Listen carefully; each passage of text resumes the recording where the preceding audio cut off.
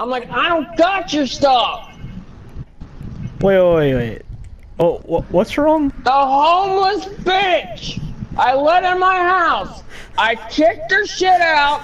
I had it there, and the three other two idiots, I do not know their names, cooked her shit, took her shit, smoked it all, and I don't got nothing of her shit. So you're innocent? I don't even know them guys. They don't even know They who they are? it. You're yelling about them?